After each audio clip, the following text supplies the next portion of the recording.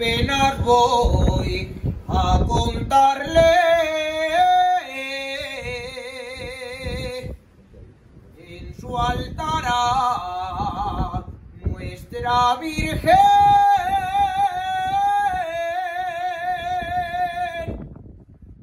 Mis penas voy a contarle.